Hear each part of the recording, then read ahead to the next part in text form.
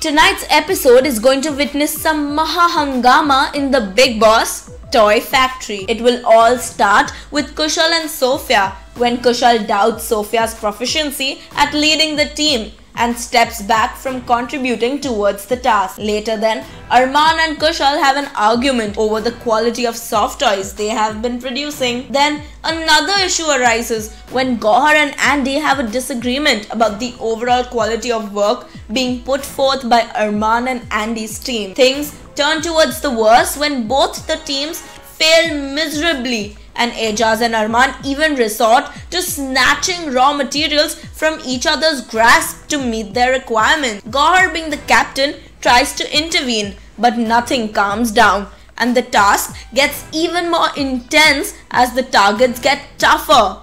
Baap re baap. Itne sare jhagde. Will the housemates make peace and accomplish their task or suffer a major setback in this week's luxury budget task. For more television news and gossip, subscribe to Telefever.